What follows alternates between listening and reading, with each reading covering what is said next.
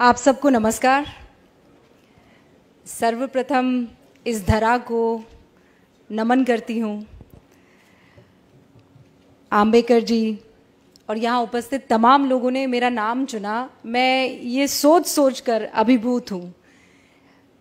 मैं किस्मत वाली हूँ कि आप लोगों के समक्ष हूँ, आप लोगों के सामने हूँ और अपने दिल की बात कह पा रही हूँ। वैसे तो बीच में वो स्क्रीन की छाया होती है, वो पर्दा होता है। आज वो पर्दा भी हट गया है तो और ज़्यादा प्रसन्न हूँ कि आपकी आँखों में आँखें डालकर सच कह पाऊँगी।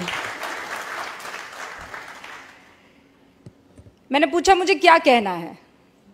तो मुझे कहा गया, बस कह दो।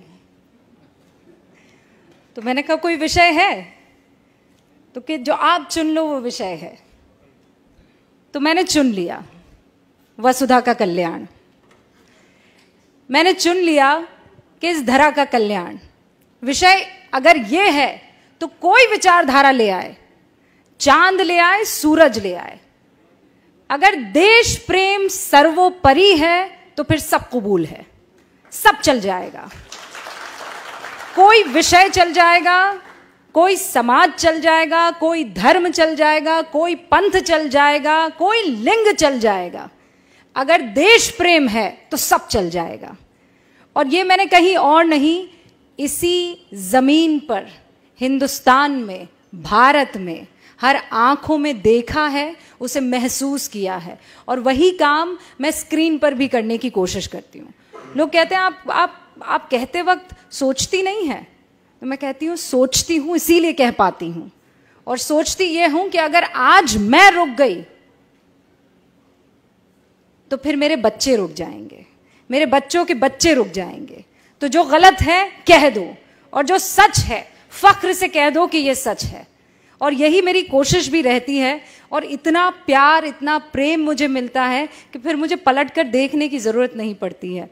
और ये आप लोगों का सम्मान है। आज जिस कार्यक्रम में मैं उपस्थित हूँ, मुझे याद है स्कूल में जब छोटी थी पांचवी कक्षा में रही होंगी।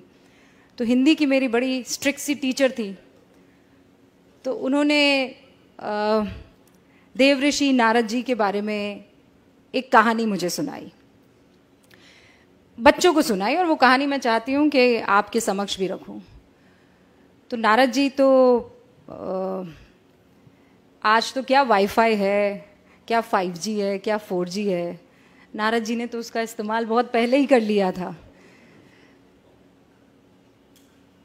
प्लेन व्लेन की ज़रूरत नहीं थी, वो टेलीपोर्ट करते थे। तीनों लोकों में जाकर अपनी बात कहते थे। तो कहानी ये शुरू होती है कि नारद मुनि अपने अंदाज में स्वर्ग लोक में घूम रहे